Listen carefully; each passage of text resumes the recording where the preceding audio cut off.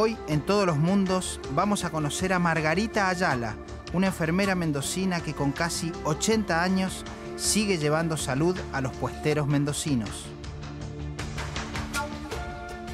Margarita posa su corazón y su jeringa donde no llegan los hospitales, los médicos ni las postas sanitarias. 50 años de amor y compromiso en los bordes de la patria. Por eso, para los puesteros, Margarita es familia. Y si no me creen, pasen y vean. La vacuna que te voy a hacer es contra rubiola, y sarampión, ¿sabes? ¿Listo? Rubén tiene las vacunas al día y eso es gracias a Margarita, quien lo controla desde que era un niño. Te voy a vacunar contra la gripe A, la gripe estacional y la neumonía. Sí, Como todos los años. todos los años. Sin miedo de brocharte. sí. Tenés el carnet por ahí de vacuna que he vacunado de Eh, la chiquito. vale, la tenés que tener. De pedirle el carnet para que vea acá la gente como venimos a vacunarnos Bueno. siempre.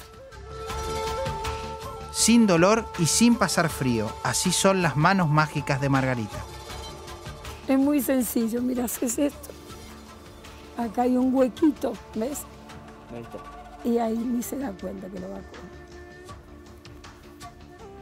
Pero no le hago sacar la ropa. No, pero acuérdense, chicos, siempre de brocharlo hasta el ombligo al hombre. Y la mujer hasta donde da el donde empieza el corpiño. Entonces sale todo el hombro. Porque si no se resfrían más cuando vos le sacás toda la Y ropa. ahora con el frío se resfría uno. Claro. Traete el carnet así te anoto.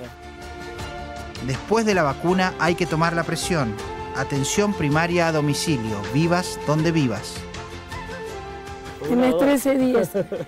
Tenés la mínima alta. La mínima. Entonces, Sí, para sí. bajar la mínima tenés que tomar mucha agua, Mucha pero agua, no jugo ni chupe. El chupe lo tomás Sí, después, Después. pero el agua tenés que tomar agua, porque si no la mínima se te va arriba. Controladas las personas es el turno de los animales. Todo bicho que camina va a parar a la jeringa de Margarita.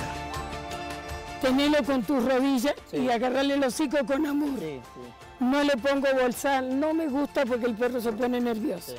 Correte vos para allá.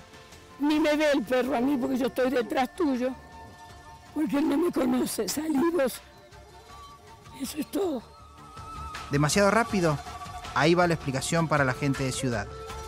Mira, es muy sencillo. Vos lo agarrás al perro Sí. con tus piernas, lo, subí a caballo, le agarrás con cariño y le hablas. Sí. Porque el perro es tuyo, te conoce, Sí. pero a mí no.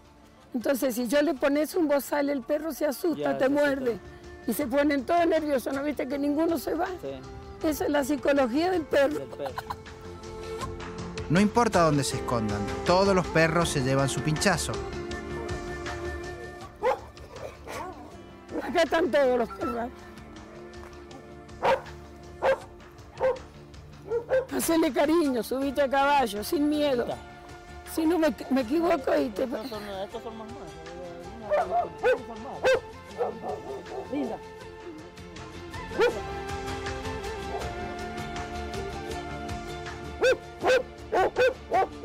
¿Te gusta así? ¿Te gusta así? Vocación y servicio a través del tiempo. Testimoniado en este video de la policía de hace apenas 25 años, donde podemos ver a Margarita haciendo lo mismo que hace hoy, acompañada en esta oportunidad por un joven oficial inspector de policía de nombre Roberto Munives. Margarita Ayala, una vida junto a los caídos del mapa, y como muestra esta anécdota.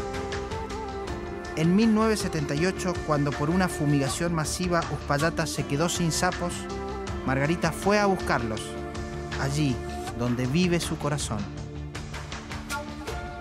¿Cómo te diste cuenta que acá había sapos? Porque nosotros vinimos a plantar ese árbol que está ahí y ahí vimos los sapos y de ahí empezamos a carrear sapos. ¿Cómo los agarraban a los Y renacuajos? mira, lo de- no, renacuajo no, porque si vos se los llevas con la cola se mueren, porque ellos tienen ahí esas manchas verdes que hay ahí, de ahí se alimentan. Bien. Cuando alargan la cola ya cazan solo. Cuando ya es sapito así chiquito, No, ahí eh, lo tenés que llevar. eh, son más chiquitos.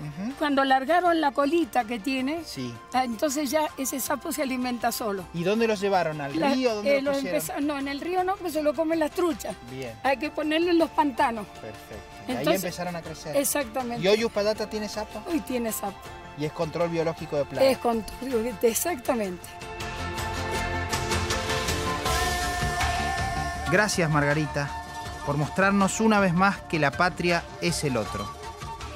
Gracias por tejer junto a un ejército de gente esa red invisible que nos abraza en la caída, que nos ayuda a levantarnos y que nos invita a buscar la mejor versión de nosotros mismos.